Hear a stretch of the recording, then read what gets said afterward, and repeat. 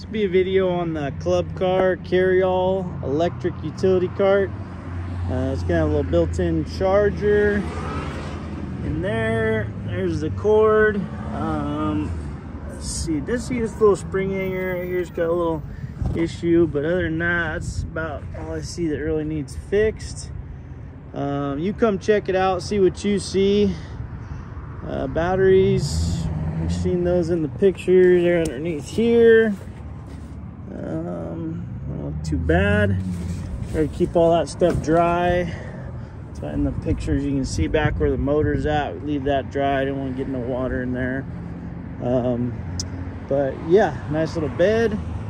We'll get on here. Let me straighten up this seat.